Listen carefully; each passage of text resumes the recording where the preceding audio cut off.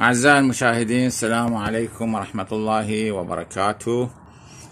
اليوم نعطيكم ملاحظات مهمة حول طريقة الإصبع السحرية لصيانة مصابيح ال LED وشمعات ال LED مثل ما تشوفون. صيانة شمعات ال LED ومصابيح ال LED باستخدام طريقة الإصبع السحرية والملاحظات والتعليقات التي جاءت من بعض المتابعين. إخواني بالنسبة هسه طريقة الإصبع السحرية هي شنو؟ عبارة عن تجيب holder. holder عادي تربط تربط بواير تقريبا 30 سنتيم. وكذلك تحتاج مصباح series. اللي ما يعرف يسوي مصباح ال series يراجع فيديوهاتي يوجد أكثر من فيديو تعليمي لصناعة مصباح ال series. وهاي القراصات مال مصباح ال series تربط آه، بال holder اللي نفحص عليه المصابيح العاطلة. هذني مصابيح عاطلة مختلفة الأحجام مثل ما تشوفون مفتوحة هذا وهذا وهذا وهذا أيضا مختلف صغير أصغر بعد. نفتحه نفتح القبغ نخليه هنا. هسه الطريقة مختصر مفيد قلنا نربط ال series مصباح ال series. هسه ما اشتغل ونربط المصباح. آه، مختصر الطريقة. إنه تخلي تخلي إصبعك على أي LED. أي LED تخلي إصبعك. شوف ما ما ما اشتغل هذا ما اشتغل المصباح. شو وقت يشتغل المصباح؟ عندما إصبعك تضعه على ال LED العاطل. أنت ما تعرف ياهو ال LED العاطل. فش تسوي؟ تظل تفتر باصبعك على اللدات. هسه هذن اللدات إذا ما توهج المصباح يعني هذن اللدات سليمة هسه هذن اللدات كلهن سليمة لأن من خليت اصبعي ما توهج. بقت ذن الستة. أول واحد ما اشتغل سليم سليم سليم سليم. هذا أيضا سليم. شوفوا هذا اعتقد محروق لأن بنقطة سوداء. هخلي اصبعي عليه. شوفوا. اشتغلت جميع اللدات. قلنا قلنا اللدات سليمة. ليش سليمة؟ لأن ما توهج المصباح عندما تضع إصبعك على لد المحروق سوف تتوهج جميع اللدات. وأي LED ما يتوهج يعتبر عاطل تبدله. فهاي هي الطريقة.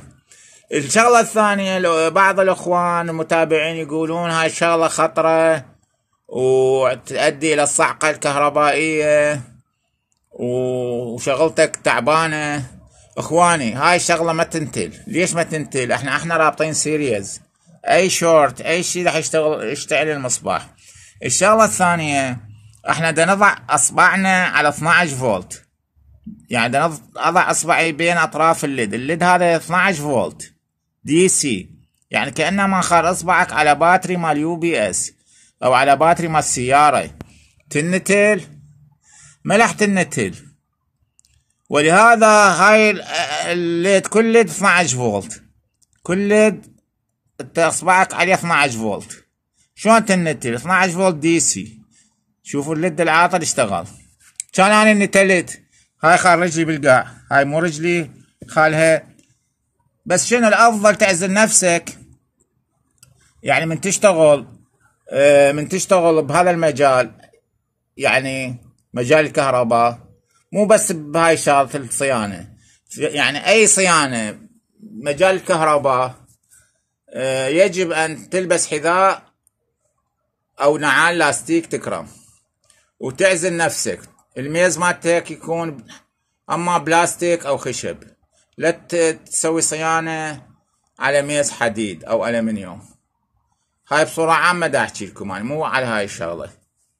فهاي انت اذا تريد تقي نفسك من النتلة وانت مصلح اعزل نفسك البس حذاء أو نعل لاستيك واقعد على ميز وعلى كرسي بلاستيك أو ميز خشب وانتهت الشغلة. واستعمل ال series حتى ما يصير عندك شورت. آه هي بعد ما تنتل. هاي إذا تنتل إذا 220 أما هنا هاي إذا 220 ما تنتل أما هنا هسه وين اكو 220 هذول كلهم 12 فولت. كلها 12 فولت. شوف إخواني 12 فولت. كان اني نتلت هسه مو أصبعي هذا. ومشتغل ال LED. ورجلي بالقاع. هاي مو هاي رجلي. هذا مو أصبعي. كان اني نتلت مو أتكلم وياكم اني حاليا. فيا أخوان لا أحد يحكي بكيفه وينتقد. طريقة ناجحة مية بالمية. وسهلة جدا وبسيطة. لصيانة ومعرفة اللدات العاطلة في مصابيح وشمعات ال LED هسه بعد بعد ما عرفنا طريقة صيانة مصباح ال LED. نجي على شمعات ال LED. نربط ال series بشمعة ال LED. نربطها بشمعة ال LED. طريقة فحص شمعات ال LED. أيضا نفس الطريقة. بس تضع أصبعك على دخول شريط الليدات. هذا شريط الليدات الأول. مثل ما تشوفون إلى النهاية. وهذا شريط الليدات الثاني. تضع تضع أصبعك ما بين الدخول يعني هنا مثل ما تشوفون أو هنا هاي الوايرات بداية الدخول الكهرباء للليدات هسه خلنا نضع ايدنا على بداية الدخول مثل ما تشوفون نشوف كم ليد شوف أول واحد عاطل. هذا عاطل. هاي اثنين عاطلة. شوف رأسه يبين هذني أربعة عاطلة. البقية شوف البقية كلها شغالة. إن شاء الله شغلة واضحة. هذني أربعة عاطلة. وهذا خامس وهذا السادس. فشنو النتلت اني ما النتلت النتلت هنخليه على الكارت. ما النتلت ما طول عازل نفسي ما النتل فهاي إخوان الطريقة اللي بعض الأخوة انتقدوني بيها قالوا لي طريقة خطرة وتنتل. وما شابه ذلك. فالطريقة ناجحة وليس خطرة وليست تنتل وماكو هيك حكي. ما طول مستخدم مصباح ال series ماكو أي خطر عليك. ما طول مستخدم مصباح ال series ماكو أي خطر عليك. ارجعوا لفيديوهاتي اكتب طريقة عمل مصباح ال series للي يسألوني قال أستاذ شنو مصباح ال series؟ وشلون نفحص بيه؟ وموضح لكم عدة فيديوهات. أكثر من ثلاث فيديوهات طريقة عمل مصباح ال series لفحص الأجهزة الكهربائية. فأرجع عليه وسوي هذا المصباح وأرجع أفحص به معرفة ال LED ات العاطلة. وهذا مصباح ال series يفيدك بكل شيء مو بس بهاي الشغلة. بأي جهاز تريد تفحصه أي جهاز كهربائي إلكتروني لازم عندك مصباح series بالبيت بالورشة حتى تقوم بصيانة الأجهزة وانت مرتاح وراسك بارد. فإخواني هي هاي الطريقة ما بها أي مشكلة. وأنا مجربها وناجحة وسهلة وبسيطة. وأسهل من الطريقة اللي تجيب محولة مال نوكيا أو باتري وتبدي تفحص آه، لد لد والشغلة تطول وتعمي عينك ويعني كلش مزعجة. فهاي رأسا. طريقة سريعة هاي يعني مجرد هالشكل تخلي اصبعك رأسا تكشف لك اللدات العاطلة. شوف مجرد وضع اصبعي شوف أول واحد عاطل كشفت لي اللدات العاطلة هذا عاطل. رأسا تكشف لك العاطلة. تأشرها بقلم هذا ذني أربع عاطلة. تأشرها بقلم وتبدلها راح يشتغلن وكان الله يحب المحسنين.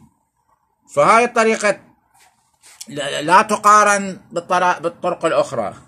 هاي الطريقة لا تقارن بالطرق الأخرى. سهلة وسريعة وبسيطة. وما تنتل فيا أخوان لا تنسى لايك واشتراك بالقناة وتفعيل زر الجرس. السلام عليكم ورحمة الله وبركاته.